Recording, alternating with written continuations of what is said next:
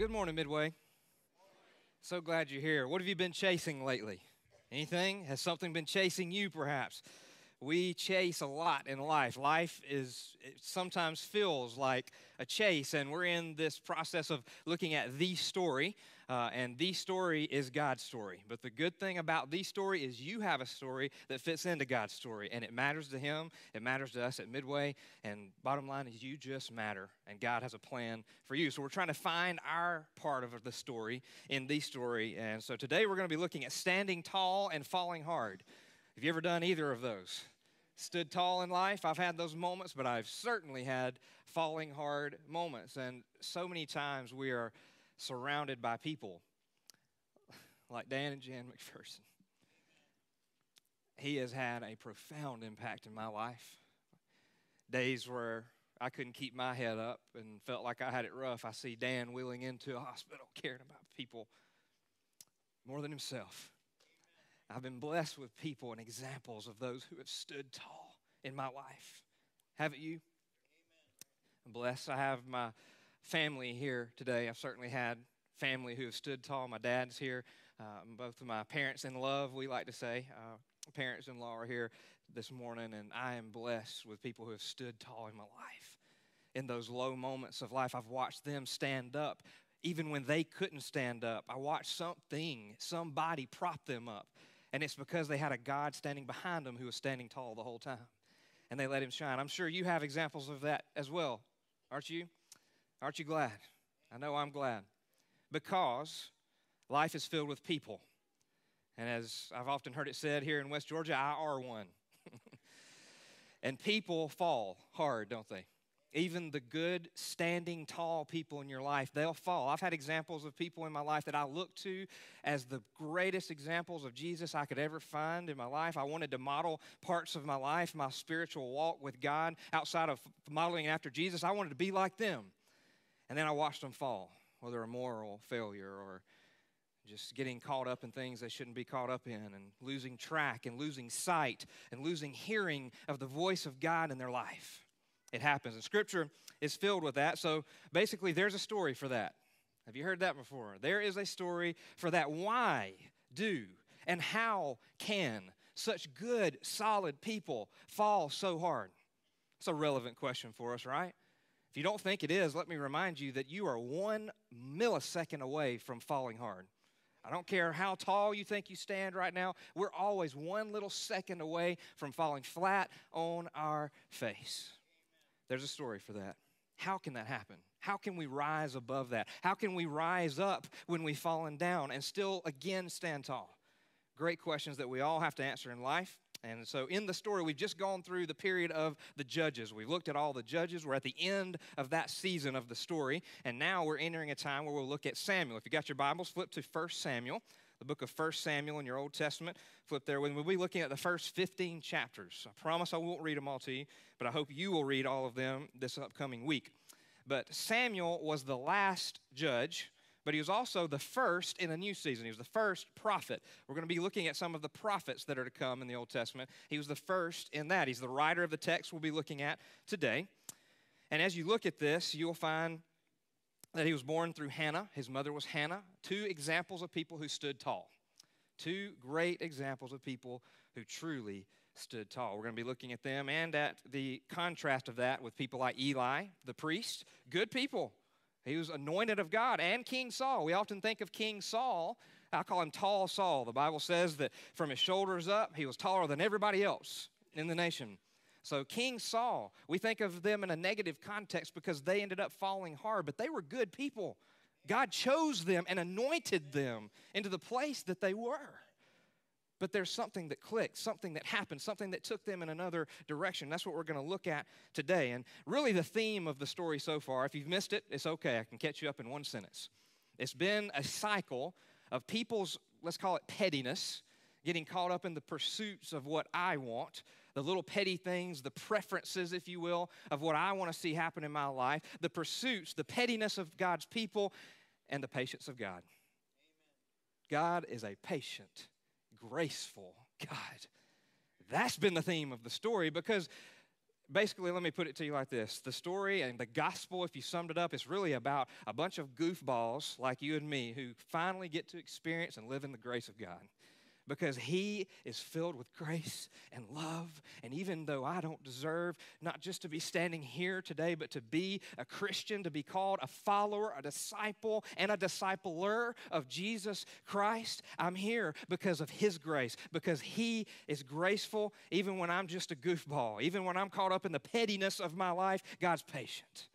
And He was the same with His people Israel, He was the same with all of His servants, servants as well the people in this story are going to eventually decide hey, I want to move away, God, from the unique leadership structure that you've given us. You see, Israel had one king, and it was not King Saul at this point, it was no king. Earthly king. It was the king. He was the king of their nation. And that was different from all of the other nations. And God liked it that way.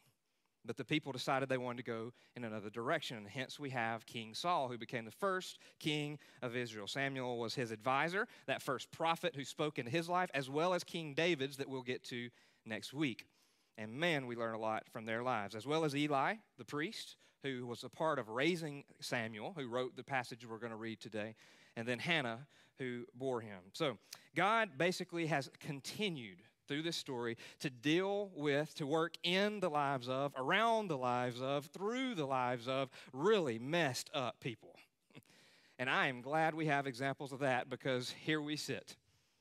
And you feel pretty messed up. You feel pretty twisted and just distorted when it comes to what God really wants for your life. You feel like that's somewhere in another continent, yet here I am on this island at times. Or is that just me?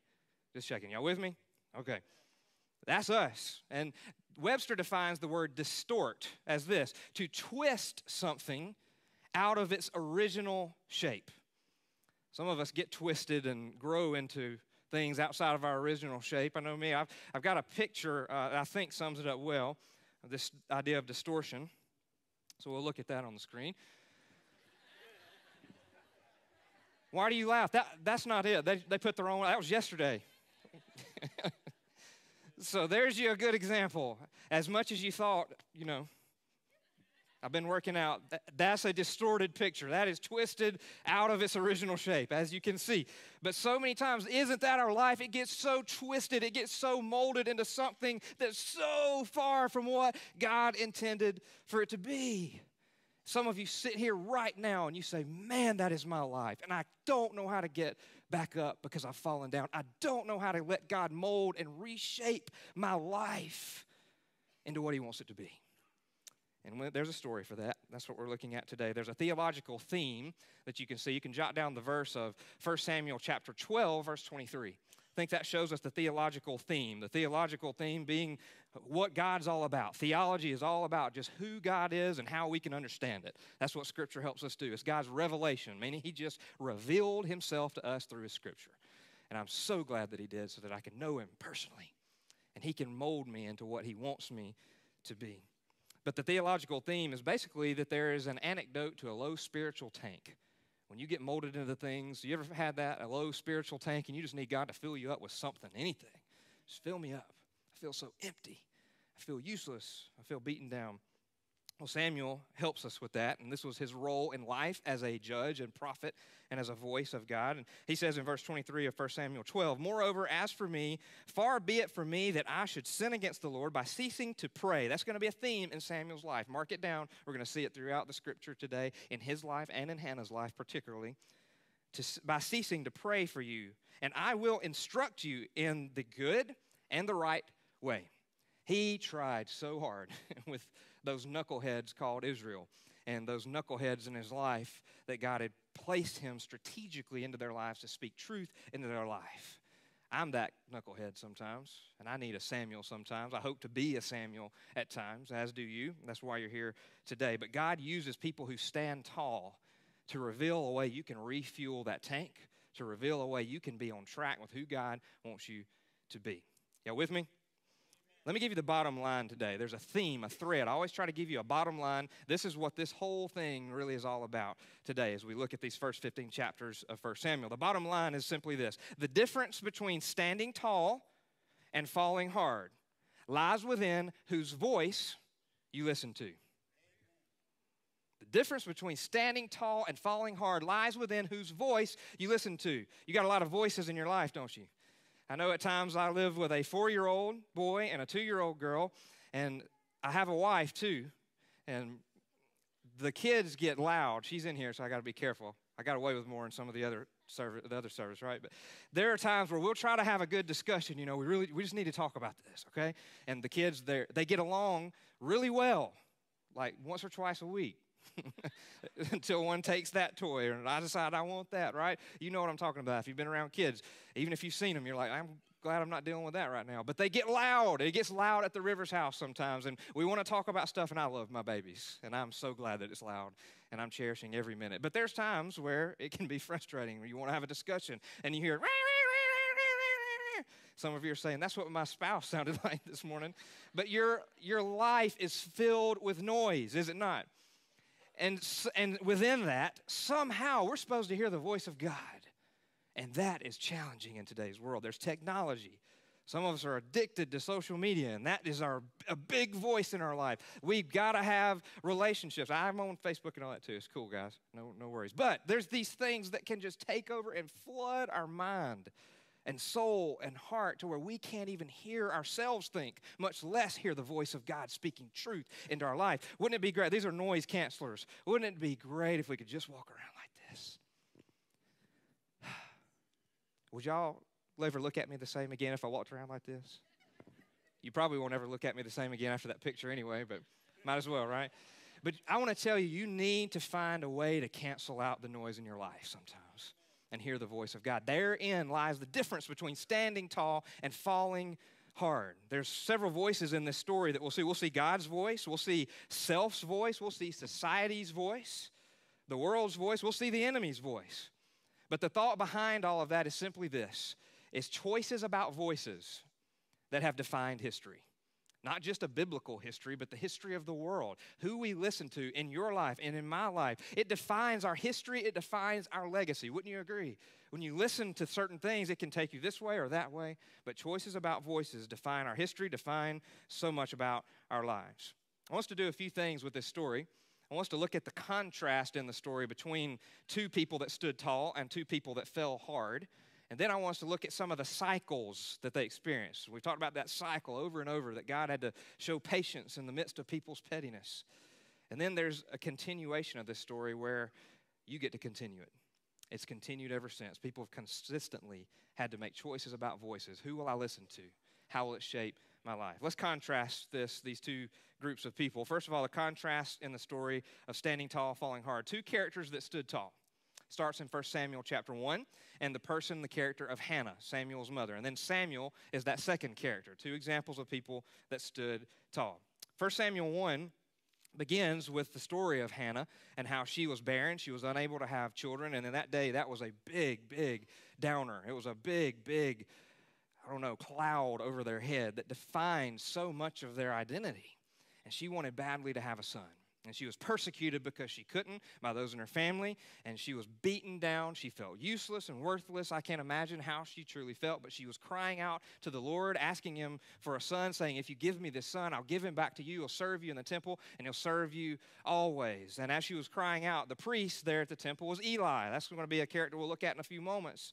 Was there, and he thought she was drunk because her mouth was moving but nothing was coming out. And she was just pouring herself out to God. And he asked her to leave, asked her to stop being drunk uh, in the temple. And she said, I'm not drunk. I'm pouring my heart out to the Lord. And there's a theme there. Remember that theme? They're listening to the voice of God. Hannah was crying out to the Lord, and he heard her.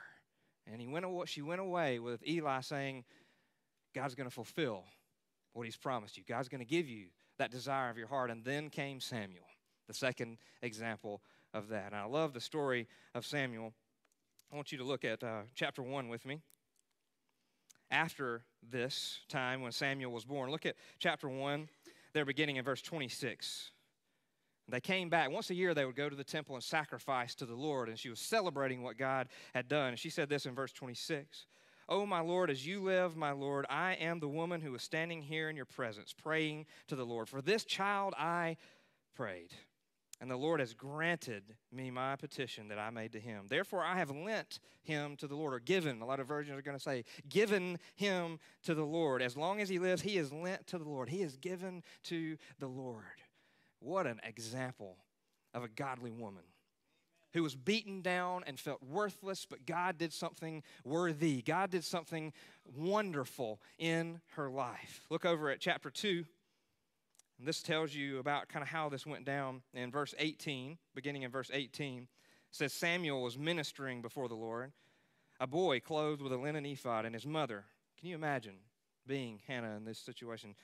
And his mother would make for him a little robe and take it to him each year. She went up with her husband to offer the yearly sacrifice. And Eli would bless Elkanah and his wife and say, May the Lord give you children by this woman for the petition she has asked of the Lord. So then they would return to their home. Verse 21 Indeed, the Lord visited Hannah, and she conceived and bore three sons and two daughters. And the young man Samuel grew up in the presence of the Lord. God was faithful as she listened to his voice and cried out to him. And Samuel in chapter 2, verse 26, we see he grew in stature and in favor with both God and with people. God was grooming him for something special in his life. And it all started with a faithful woman of God who paved the way for him, who prayed for him, and who gave him to the service of the Lord. And in chapter 3, we won't read this, but there's a story of where Samuel was called. I'm giving you the framework, and we're going to pull some really key cycles and principles out of these stories. In chapter 3, though, God spoke to Samuel, young Samuel, who was there at the temple with the priest Eli. And he said, Samuel, Samuel. So he gets up, Samuel goes to Eli and says, Yes, I'm here. What do you need? You called me. he said, I didn't call you. Go back to bed. You ever had to do that with your kids before? Well, that's where that's where he was. It did it three times, and on the third time, Eli discerned and said, "I think it's the Lord speaking to you." Uh, if he does it again, then say, "Yes, Lord, here I am. Speak." So Samuel did just that. God delivered a message to him about Eli, this guy that had been raising him, this guy that had been working in his life, this guy that God had used to bring him to this point in his life, training him up in the ministry for the Lord saying that Eli has done evil in his sight. And his sons, and some of the things we learn about Eli, we'll look in just a few moments. He's a part of that contrast. He's on the other end of that, an example of falling hard. His sons did evil in God's sight. In verses 11 through 36 of chapter 2, they were doing things like seducing and sleeping with the women that worked in the temple. Probably shouldn't do that as a priest. And taking the first fruits. God has called us to give the best of all we have to Him. And that's an honor when He gave us His very best in Jesus. Amen. That's still true for us today. And that was true back then. They would bring sacrifices, the best of what they had. And these two guys, the sons of Eli, would take the best and use it for themselves and for their family. And so they dishonored God. And God told Samuel that he would be removed from the priesthood, that he had dishonored him and he was taking away that title and the privilege and all that goes with that. And I'm so glad Samuel listened. And I'm so glad he kept listening to the voice of God because he even had to deliver that message to Eli the next morning. And it all came true exactly as God had said. Look at chapter 7 with me, flip there, for a summary of Samuel's life. Chapter 7, beginning in verse 15, it says Samuel judged Israel all the days of his life. And judged is not like judge not lest ye should be judged kind of stuff. Judged means he was the voice of reason, the voice of truth, the voice of God among the people at that time. A huge honor and a huge thing to do all of your life. As you see, so many people fell hard. He judged Israel all the days of his life, verse 16, and he went on a circuit year by year to Bethel, Gilgal, and Mizpah, and he judged Israel in all these places. Then he would return to Ramah, for his home was there, and there also he judged Israel, and he built there what? An altar to the Lord. You see that theme in his life and how those two stood tall. Chapter 2 records a prayer by Hannah that you should do as a devotion this week of thanksgiving once she had received the blessings and the promises of God. Those two examples of falling hard are Eli the priest and Saul the king, King Saul. Eli's sons did evil in the sight of the Lord, and yet Eli was instrumental in Samuel's calling. In chapter 4, we see that Eli's sons died, just as God had promised. And then Eli, sitting in a chair, an old, an old man, uh, fell backwards when he heard of the death. And it almost seems humorous, but gosh, can you imagine a life that was so good? He had everything. He was the God, the priest in the temple. He was a voice of God in people's lives. but he valued where his family was above where God told him to be. And that's hard. That's a hard priority to keep right. I try to keep those priorities in line. My relationship with God's here. My relationship with my wife is here. My kids, and then everything else follows. My ministry and everything follows with that. But it's easy for a good priority to get bumped up so high that I miss the voice of God and my priorities are out of whack. And that, my friends, is what Eli unfortunately did. He wouldn't correct or make the corrections to what was going on in the temple as God had called him to do, and therefore he fell hard. And we're going to see God still had grace even in his life because he even was used. Even though he died that day, finding out at the age of 98, judging Israel for 40 years, he fell back out of his chair, broke his neck, passed away in that setting. Even though he fell hard, quite literally. even though he fell hard, y'all get the rest of that later. He fell hard. He failed. He lost the fight in many people's eyes. God still used him drastically, and we're talking about him today, even in the midst of his failures. So he's the first example of falling hard. The second is King Saul, which most of this passage includes, most of these 15 chapters. In chapter number 9, Saul meets Samuel, and he's revealed by God to Samuel as the next king. In chapter 10, he becomes the first and unanimous king of Israel. He had it made, people. This and here, when you read about him, we think of Saul, we think of that guy that just ruined his life. He wrecked the beginning of Israel, if you will. But that's not how he started. He started out as this king, this guy that was beautiful to look at. He was attractive, he was desirable, he was likable, he was taller than everybody, not just physically, but even in his attributes that God had given him. And here's the thing beyond that all that's good, but God blessed Saul. God anointed Saul. God chose Saul to be the first king of his chosen people, his nation. And that's how he started. So, what went wrong? Well, I believe he made choices about the voices that he listened to and went the wrong direction. And we'll see that in his life. Chapter 12 of 1 Samuel, Samuel reminds Israel basically of the story.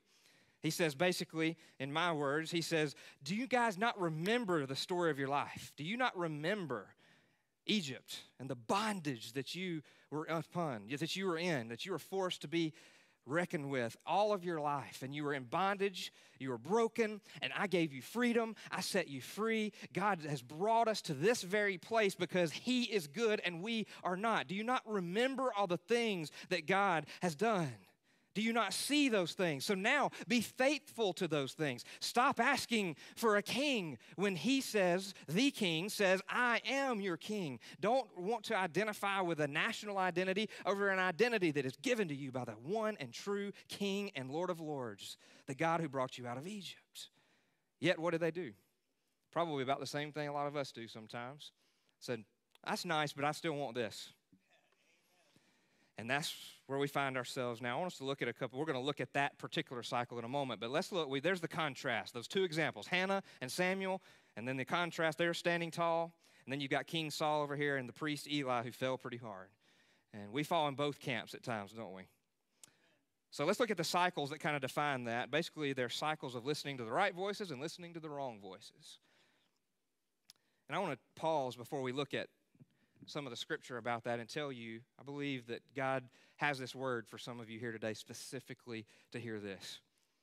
A lot of you have been handed cycles from generation to generation to generation to generation. Those things, those addictions, those mindsets. Maybe it's not being a good father, not being a good mother, being absent. Maybe it's an addiction to something in your life that has just been a shackle and a chain for years and for generations over and over and over again. Some of you feel chained up by the cycles that have just been passed down and passed down and passed down in your life. And you feel like, well, such is life. That's just kind of how my family goes. I want to tell you today, and I hope you hear me, that we serve a God who cares nothing about the cycles of the past. And we serve a God who is powerful enough to help you, to walk with you, to break the cycles that have for so long defined your family, your life, or those who have influenced you, whatever that means to you. You can be a cycle breaker in your life, and it can start today. And I'm thankful. Go ahead, celebrate that. I'm thankful God has put people like that who have broken cycles that I've seen in my relationships, my family, my parents, uh, broke many cycles that were handed down to them. And I hope to be a continuation of the right kinds of cycles that I've been shown in my life. And I hope that the cycles that get handed to me by other people or other influences, or the cycles here, these are the worst ones, that I start. Because you're a cycle starter too. You can start the right ones or the wrong ones. And even if I start the wrong ones, I hope that I can break it by the power of God, and I know I can. And so can you. Let's look at two cycles that we see in the story. They're both negative, and then we're going to get to some good stuff. I'm a positive guy. And by the way, negativity is one of those cycles. That's maybe there's three then. we'll look at. There's a cycle of negativity. If you get negativity pouring in constantly, what do you what is this going to be? It'll be positive, right? no, scripture makes that pretty clear. Some of you are bitter and negative today because that's what's coming in. And I challenge you today to look at who God is and what He's done in your story and in His story. And I think it'll change your perspective. So let's look at the first cycle. It's a cycle of conformity. In 1 Samuel chapter 8, look there with me.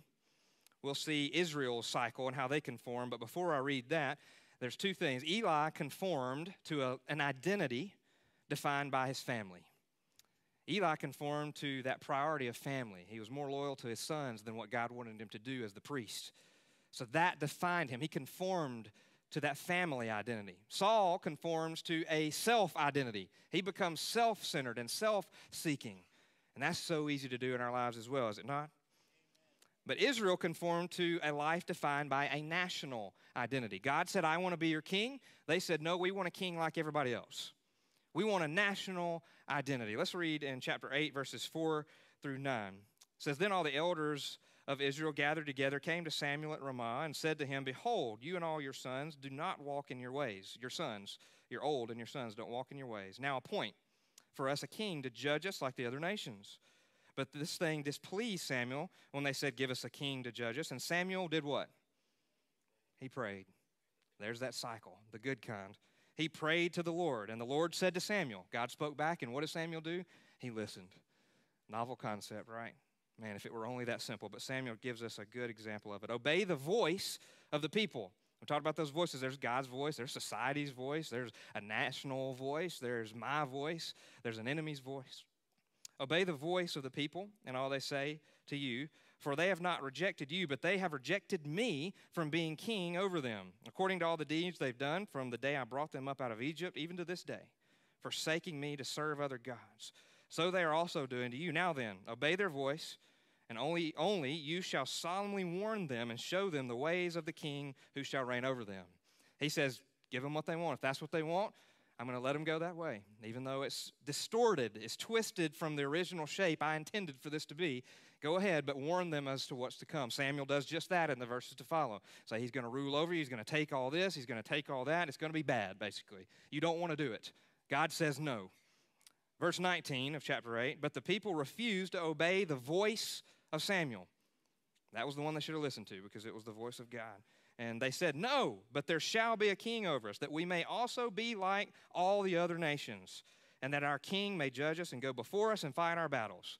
That'd be nice, wouldn't it? Somebody to fight your battles for you. I think God's called us to them. Verse 21 And when Samuel heard all the words of the people, he repeated them to the ears of the Lord.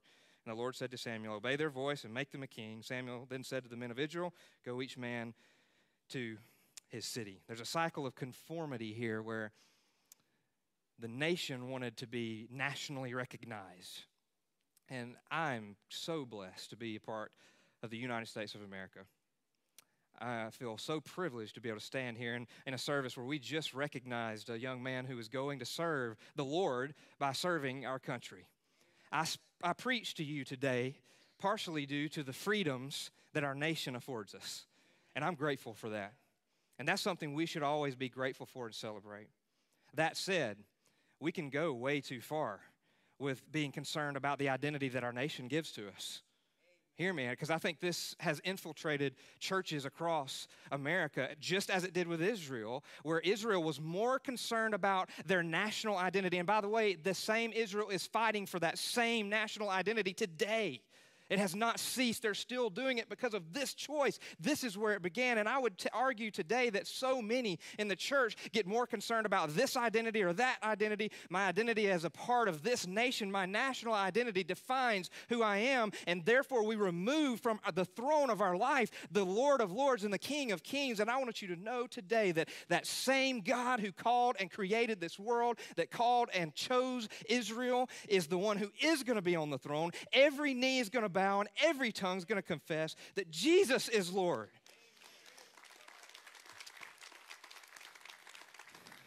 And my heart aches because so many times We'll get more concerned about our identity that's tied to our nation and where our nation's going. And we should be. The church should influence this nation. I believe should be the loudest voice that the, the nation of our country, of the United States of America, should ever experience. We should influence it. We should care. We should be a part of doing the right stuff so that people see the right God. I believe that firmly, but I see it over and over again where politics and all the concerns that we have for that starts to sit on the throne of our life. And therefore, we exchange, hear me, we exchange the King of Kings for this national identity that we're pursuing, just like Israel did. And I want you to hear me today. I want you to know that we serve the King of Kings, the Lord of Lords, who can sit on our throne, and He's bigger than all of these national identities, not just Israel's, but our national identity. God and our should have our allegiance above anything else. I pledge allegiance to my country because I'm grateful for all those who have fought for it but I will never pledge allegiance to anything above my God. That's where Israel went wrong because in so doing, we exchange Jesus for things that don't last. I've resolved that I'm not going to make that exchange. Why? Because that exchange, the ultimate exchange, has already been made on the cross. Jesus exchanged my sin for his righteousness. 2 Corinthians 5:21 says, "He who knew no sin became sin so that I could not experience or know what it's about or look a little bit like so that I could become the righteousness of God." The ultimate exchange is done. Don't exchange anything for what God has given you. Keep him on the throne of your life. There's also a cycle of self-deception, a cycle of conformity, but there's a cycle of self-deception. Saul characterized this well. Don't you agree? He got caught up in what he wanted. And he didn't follow God, and he got impatient. He's supposed to wait on Samuel before he blessed and made sacrifices before a war and started the war, and he couldn't wait. Uh, and then when Saul, Samuel asked him about it, he said, I, was, I forced myself to go ahead because you were late. if you ever have to force yourself to do something that God already told you not to do, you probably shouldn't do it. Good rule of thumb. I won't charge you extra for that one. That was pretty profound. But Saul did. Why? Why did such a good guy fall? Because he listened to the wrong voices. He listened to his self deceived voices. I want you to know it is possible, hear me, it is possible to know but not know, to hear but not to hear, to hear something but not hear it because I don't want to hear it, to know something but not know it because I don't want to know it. Let me give you an example. And this happened several times in life, probably, but definitely recently. Our family vehicle was making some noise and you know, it didn't sound good. Uh, I can remember several times where this happened. Jessica, my wife, said, Do you hear that? And I'd already, I already knew, just so you know. But I didn't know because I didn't want to know. Uh, she said, Do you hear that? I said, Mm-mm, I don't hear it. No, no, this is our, it's our family car. Our baby's right in here. This, you need to listen. Do you hear the noise? No, mm-mm. it sounds great. Listen, it's running fine. We're going down the road at 60 miles an hour, maybe a little faster. I don't know. But so I cut the radio up a little bit, right? See, I hear it even over the radio. No, you don't. It's fine. Just drop it. It's, nothing's wrong with the car. See, I knew, but I didn't know because I didn't want to know. Doesn't that apply to life in a lot of other ways?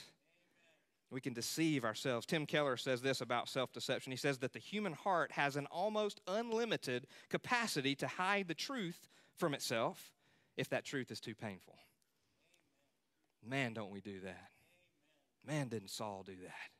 In his life and that cycle of not just conformity but of self-deception. And in chapter number 14 of 1 samuel verse 35 we see that saul unfortunately for the first time it says built an altar to the lord. Built an altar to the lord. And one chapter later in chapter 15 and verse 12 what did saul do those of you who are there? He went from building an altar to the lord to building a i heard it back there say it again monument to himself. Man, I do that sometimes too because I deceive myself. I don't know, even though I know, because I don't want to know. and so I just deceive myself. And if I, if I kept telling myself that that car wasn't broken and I didn't hear that noise, I would probably eventually believe myself, and then I would be broken down on the side of the road. The same happens in our life. The same happened in Saul's life. In one chapter's time, hear me, in one chapter's time, Saul went from King Saul, building an altar to the Lord. But he started down that road sooner because he knew, but he didn't know because he didn't want to. He deceived himself. And in one chapter's time, from 14 to 15, he went from building an altar to the Lord to building a monument for himself. And God was done with him as far as being king of Israel. Yet God's grace still abounded, even in the Old Testament. Jesus is everywhere in the Old Testament, if you didn't know. Hopefully, you've seen him if you've been coming in the story. We hadn't even got to Jesus yet, but yet we have, right? Isn't it a beautiful thing? Let me tell you about the continuation of this story now. You saw those cycles self deception and conformity, and the contrast between standing tall, falling hard. But the continuation of the story is this that every single day since, and every day before, this story. And every day after, including today, there's been a continuation of choices about voices. People have continued to choose who to listen to, what to drown out, what noise to cancel, and it's defined history. But there's three things I want to share with you. You've already gotten plenty more by listening to the story personally. Three things that God has shown us through his voice in this story. Three things we can hear from the voice of God. Number one, God has a unique plan for my life even when life is upside down. Some of you said, I needed to hear that because life is pretty much upside down right now. God has a unique plan for my life, even when it's upside down. I think of Hannah three sons, two daughters, not just the one that she had asked for. God multiplied that because He had a unique plan for her life, even though she felt like life was upside down. And God has a unique plan for your life, and sometimes He'll have to lead you through things that make no sense to bring you to things later that may, may or may not make sense then, but they will make sense later when you get to spend eternity with Him because God sees a big picture that we cannot see. God has a unique plan for my life, even if it's upside down. Number two, God can use me even through my failures. I hear some amens on that one, huh? Because I fail. My flesh may fail, but my God will never, never will. I'm so glad of that. God can use me even through my failure. Saul and Eli, remember, they were chosen by God, anointed by God. And Eli was used instrumentally in Samuel's life and upbringing. Saul was used to pave the way for this beginning of a different season in the life of Israel and to pave the way for David that we're going to look at next week. You definitely don't want to miss that because that's when things really start to turn. And then they turn back. And then they turn back again. See the cycles, don't you? Even with good people, we can all fall. We're all a moment away from that. Number three, God is always working, and this is a tough one for us. God is always working, even when I can't hear his voice. You ever been there? Man, God, I'm pouring my heart out to you. I'm begging you to do something, and I don't even feel like you hear me. Are you even real? I've asked those questions before. You say preachers are not supposed to ask those kind of questions. Well, I have. There's times I don't hear the voice of God like I do in other times. There's times I don't hear it at all. And it feels like He's a million miles away. But I know because I know God is working because the scriptures tell us that He is the same yesterday, today, and forever. I can know that He's still working because He always has been and He always will be. I can know, even when I don't feel him, that the fact remains that he is alive and well. There's a song that my dad used to sing growing up that illustrates this well. It's a song that New Song wrote many years ago. It goes like this. I'm not going to sing it, but I'll definitely give you the lyrics. When you don't understand, when you don't see his plan, when you can't trace his hand, trust his heart. Trust God's heart today, knowing that he's working, even if he feels a million miles away and you don't hear his voice. Keep listening. Maybe you need to cancel some noise out and just listen to his voice. Charles Stanley says this about the will of God. If God already knows now, which he does, but he hasn't told you now, then you don't have to know now. I don't like that very much. but I'm glad I have a God that I can trust his heart, even when I don't know now. And I may not know later, but I know he does, and that's enough for me. I want to give you a challenge for the week. I want to challenge you to spend some time this week. Something intentional, something new, something different that allows you to get alone with God for the sole purpose of listening to His voice. Basically, I'm saying do this find some noise cancelers, whatever that means for you. Find some time that you don't usually do, that you don't usually have, and intentionally force some time to be alone with God just to listen to his voice. Now go cry your, cry your heart out to the Lord. Pour your heart out before the Lord. Cry out to him. But then listen to that still small voice that 1 Kings chapter 19 talks about. Jesus says in John 10 27, My sheep hear my voice, and I know them, and they follow me. Do that this week. Spend some time to intentionally do that this week. You're going to have an opportunity to grab some earplugs when you leave. They're not to be used on your kids, but I hope you'll stick them in your pocket when you leave and, have them in your pocket all week this week. And every time you see them, let it be a reminder that I got to listen to the right voice. And it's not mine. Will you bow your heads with me for just a moment? Some of you need to receive Jesus this morning.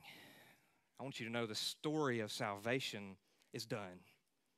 It's a fact, it's a historical fact, it's a biblical fact, and it's a spiritual fact. Jesus has already won the battle over your sin. It's done. Whether you accept it or not, He already did it. So now that that's done, salvation is truly all about what do I do with that fact? That historical, biblical, spiritual fact. What do I do with it? Do I accept it? Or do I just say I believe it, but then stop there? Some of you need to cry out before the Lord. Being saved is all about saying, I'm going to do something with that fact that Jesus has won the battle over my sin, over hell, and over the grave. He died on that cross for me. He did rise again. He's alive, and I live because of him. Use your words with that. Don't use mine. I can't save you. This church can't save you. Sitting here doesn't save you. What saves you is Jesus. And I feel like He's working in some hearts today. And if you need to do that, cry out to Him in your own words. Let him know you need him, that you want him, and that you give him your life. You don't just believe, but you take that in to make it a part of who you are. Do that right now.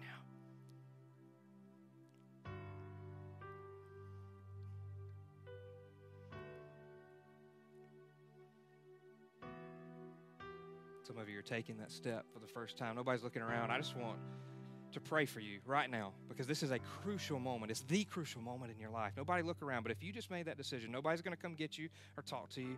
I just want to pray for you right now as you acknowledge that. Would you slip your hand up, say, Preacher, pray for me? I prayed to receive Jesus today in the service.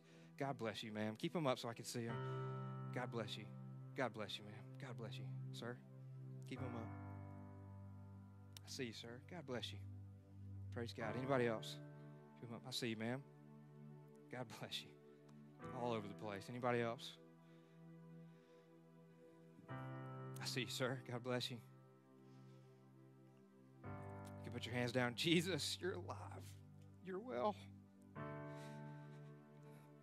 I'm so humbled to see you save souls and change lives. God, we can't do that, but you did it for us. Thank you, God, that you save souls and that you're alive today and we can hear your voice and respond to it, and it matters eternally. Thank you for these who have started this new beginning in their life. That's what it is. It's a new beginning. It's not the end, it's not just an end result, it's the, an end result that comes for eternity that starts a new beginning right now. Thank you for that, Jesus. We pray all this in your name. And all God's people said, Can we celebrate God's salvation today?